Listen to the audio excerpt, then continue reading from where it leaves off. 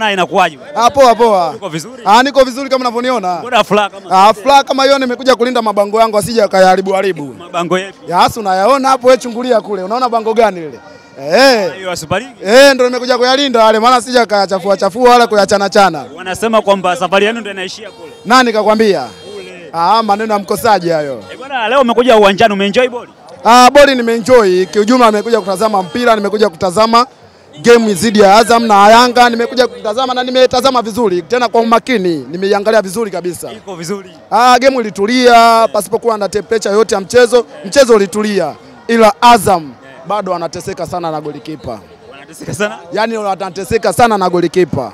Kwani yule golikipa ni yukoje? Ah, unaona makosa anayoyafanya. Kwani yule na Ayubu golikipa wenu nani bora? Ah, Nani mzuri? Ayubu amecheza mechi chache sana kuliko golikipa wa Azam. Ayubu alicheza mechi chache sana kuliko golikipa Azam. Mchezo wa leo umeuonaje kwanza? Ah, mchezo wa leo umeenda, umeenda vizuri, timu zote zimecheza vizuri, zimecheza kwa kuheshimiana, kwa yani mchezo umeenda vizuri na umeisha salama kabisa. Tunashukuru mchezo umeisha vizuri kabisa.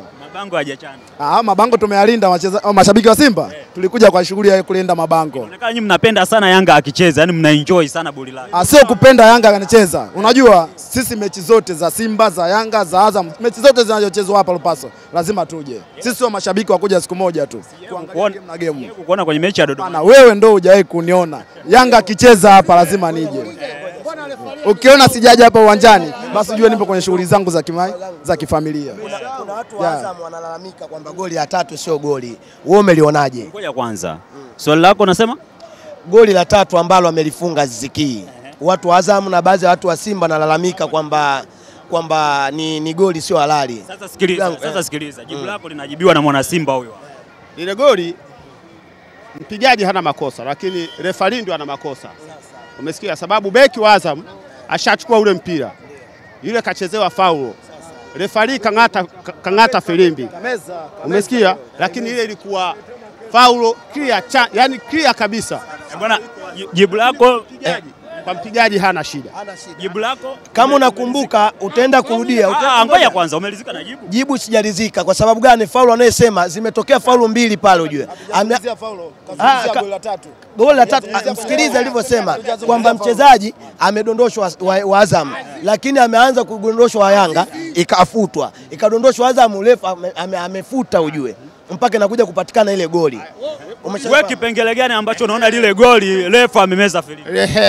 Kwa sababu yule ambaye amechezewa wa Yanga yule alikuwa hana mpira, beki wa Azam ndio alikuwa na mpira. Kaka, kaka, kaka, kaka. Yule kacheza mpira, yule kacheza mpira, mwangalie, yule kacheza mpira, umesikia?